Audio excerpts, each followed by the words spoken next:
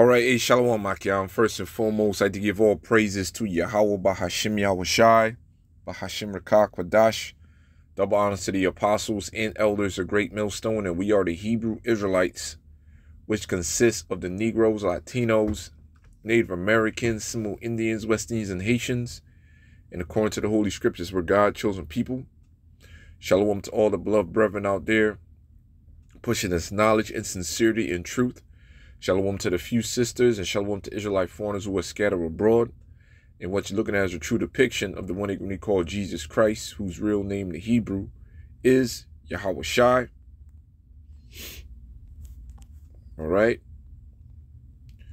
And what you're looking at is a true depiction of the one they call God, one they call Jehovah, whose real name in the Hebrew is Yahweh. When you call upon the Most High and the Son, you must say Yahweh Bahashim Yahweh Shah, Yahweh means he to be or he is. Bahashim means in the name. And Yahweh Shah means he delivers. Our Lord and Savior has come back to deliver the elect out of the nation of Israel upon the destruction of modern day Babylon, aka America. I want to start off by giving all praise to Yahweh by Shem Yahweh once again. Barak the Yahweh. Barak the Yahweh Shai. Barak the Yahweh. Barak the Yahweh Shai. And the Wadi Yahweh by Shem for another blessed day the Wadi Yahweh Shem Shai for this opportunity, this 100% truth. The Wadi Yahweh Shem Shai for the apostles and elders and all you beloved brethren out there pushes knowledge and sincerity and truth. All right, coming back at you another lesson through the Holy Spirit. So we're going to start it off. Isaiah chapter 9, verse 5. It says, For every battle of the warrior is with confused noise and garments rolled in blood. But this shall be with burning and fuel of fire. So pretty much what you're witnessing is the escalation of force which, which is going to lead into World War III, the building up of troops in the valley of Jehoshaphat, the valley of, of decision, Armageddon, over there in the Middle East. All right. So the icing on the cake, which which was gonna which is gonna take place in our lifetime, in our time frame, which is going to lead to a nuclear war between these nuclear countries. Okay? That's what it means. But this shall be with burning and fuel of fire. Okay? As the world watches wars being fought in both Europe and the Middle East, this morning a new push by the Department of Defense to upgrade its nuclear weapons. Military leaders recently announcing they will pursue production of the B 6113 nuclear gravity bomb, a weapon 24 times more powerful than the bomb dropped on Hiroshima, Japan during World War II. One defense leader writing in a statement that the need for the new nuclear weapon, quote, is reflective of a changing security environment and growing threats from potential adversaries. This is as serious a topic as we will hear about this year. Earlier this month on Capitol Hill, the Senate Armed Services Committee focused on the country's nuclear strategy. Leaders from both sides noted ongoing threats from enemies like Russia, which recently de ratified a nuclear test ban treaty, as well as North Korea, which continues to conduct numerous weapons tests.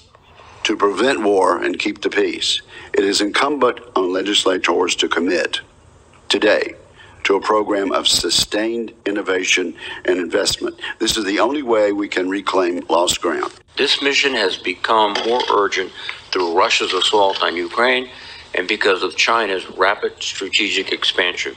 Here in the U.S., just two weeks ago, the National Nuclear Security Administration announced a team conducted an underground chemical explosion at a test site in Nevada, aimed at improving America's ability to detect nuclear explosions around the world. Now, with a call to upgrade the U.S.'s own weapons, some lawmakers want to see the country be prepared. It is time to begin making the national defense investments required to deter the conflicts looming ahead.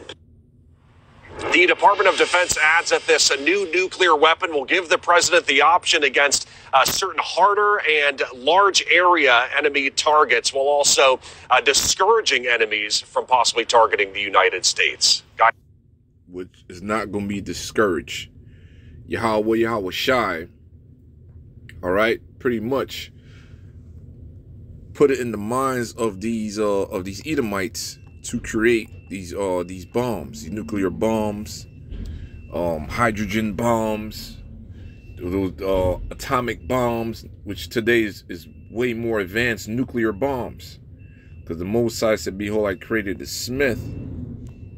All right. Isaiah 44 and 12.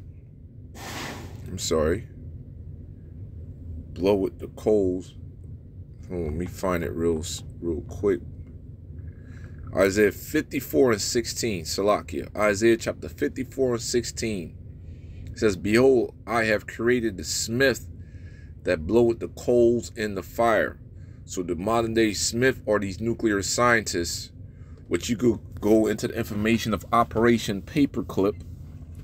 What happened after World War II, the disbandment of Germany and those um, high-ranking um, intelligent officers, um, nuclear physicists, so on and so forth, to where um, a deal was made between United States and the Russians. Pretty much, United States took some of those German scientists and they incorporated themselves into United States military, and the rest went to Russia. All right. So during that time frame, United States pretty much adopted the ways from from um, from Nazi Germany and used those different types of um, engineering and, and made their their um pretty much military might even stronger. Okay, because if you go into World War II, the Germans engineer was very advanced against the other nations that they were fighting against. All right, especially their tanks. You can look up this information on your own. Okay, they were fighting machines. So these nuclear scientists throughout the years have been building bombs in Russia, um, China, uh, uh, America, of course, and been selling information one to another. So behold, I have created the smith. This is all Yahweh by Shem Shai, and blow with the coals in the fire, and bringeth forth an instrument for his work, and I have created the waster to destroy. The waster to destroy, meaning these these missiles, these bombs will be shot off. That's the waster to destroy. Those those nuclear um, warheads, which is connected to a rocket propelled system, which can be shot from one continent to another continent to the different parts of the world. This is of a higher power. That's why we we we um vehemently push the names of Yahweh by Shem Yahweh Shai, tell you to fear Yahweh Yahweh Shai, man. Okay? So going back to um what other scripture um had in mind. The slain of the Lord shall be many. Slain of the Lord. All right. This Isaiah 66. Yep. Isaiah 66 and 15 For behold, the Lord will come with fire and with his chariots like a whirlwind. So not only those nuclear bombs will be shot off from America, from Russia, from China, different countries that have those bombs, but you have you, people won't have to deal with Yahweh Shai and the angelic forces with their weaponry, dealing with those laser beams that's that's going to be shot out of them ships. All right. It says, and with his chariots like a whirlwind to render his anger with fury and his rebuke with flames of fire. Okay? So Yahweh Shani and the angelic forces will be shooting their laser beams upon these nations' armies. Then the nuke's to hit right after they leave. That's overkill. And that's justified through the eyes of Yahweh Shem Shai.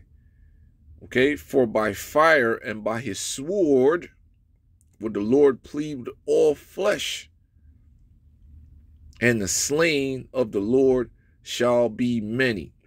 That's that's the that's the final judgment And the main place of this type of um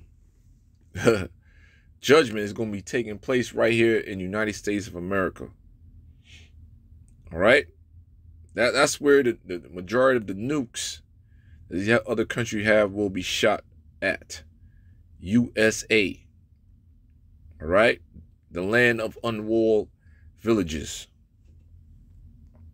Burn as an oven. Okay, the day's coming that's going to burn as a oven.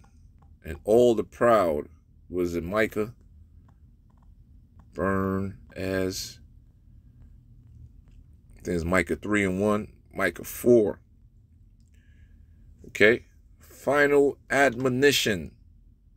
For behold, the day, for behold, the day cometh that shall burn as an oven.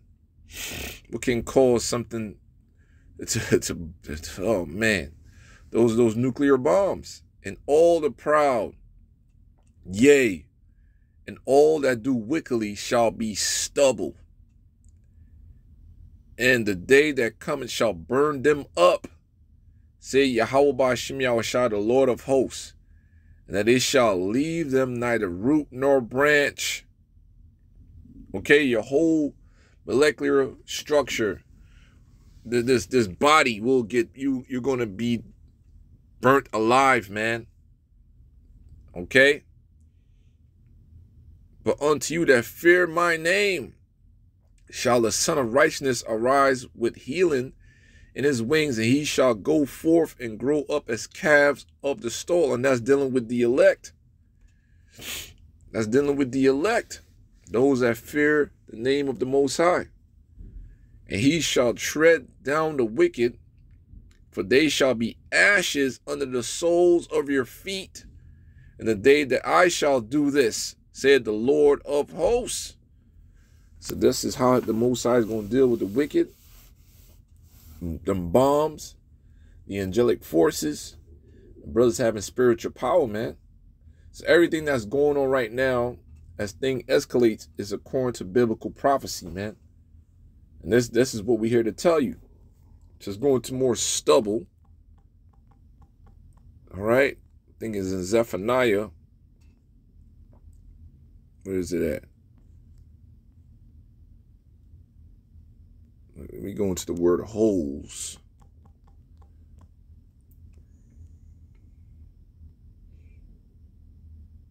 Zechariah 14 and 12.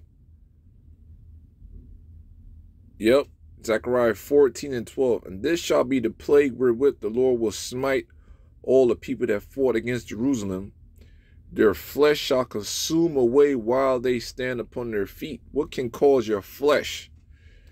All right, you got we got flesh on the to consume away those nuclear bombs, man. And their eyes shall consume away in their holes. Your eyeballs. It's going to melt right in your face. And their tongue shall consume away in their mouth. See man. You're going to get melted. All right? So that's pretty much it, man. So, hey, man, final judgment is on its way. And our, all right, and and and Yahweh Shem Shai it's gonna be greatly is, is greatly to be feared. Shalom.